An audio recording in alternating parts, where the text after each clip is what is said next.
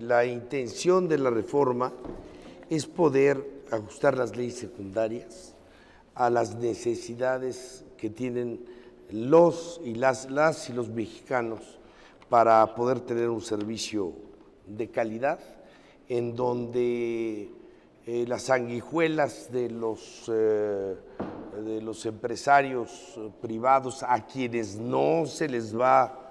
a quitar absolutamente nada, simple sencillamente se va a ver la manera de que se regule el comportamiento que tienen grosero, grotesco, y voy a poner un ejemplo. Son contratos en donde ofrecen generar determinados uh, megawatts y eh, la ley de Peña Nieto y las leyes secundarias de Peña Nieto obligan a pagar el 100% aunque no generen más que el 30%. Quiero decirte que eh, con estos contratos de autoabasto, por ejemplo, por mencionar unos,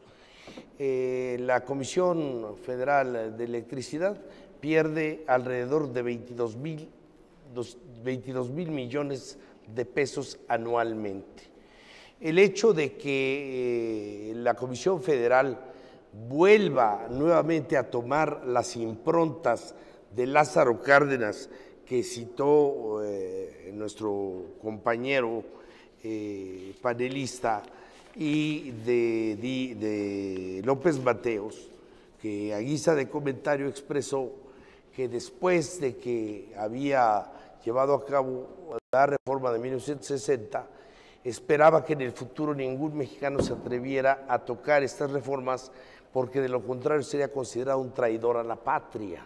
Bueno, podrán decir que estaba loco, pero lo cierto es, y volvemos al tema para situarnos en el debate que nos convoca,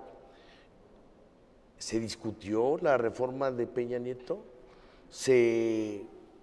puso al escrutinio de los ciudadanos, fue debatida, no.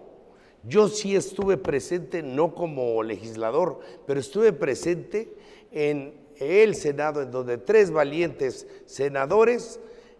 gritaban en el desierto la necesidad de que esa reforma eh, grosera fuera debatida, fuera discutida y que aquellas bondades a que se refiere Severo López de la Constitución de 2020,